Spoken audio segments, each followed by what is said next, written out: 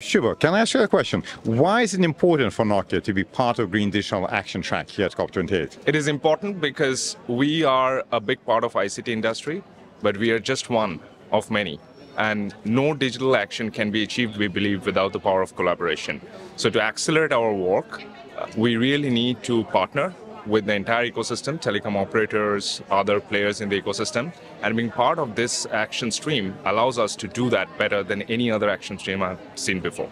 So this is a great opportunity for Nokia and we're really grateful for the partnership. Thank you very much for joining us on that. Thank you. Thank you. Thank you.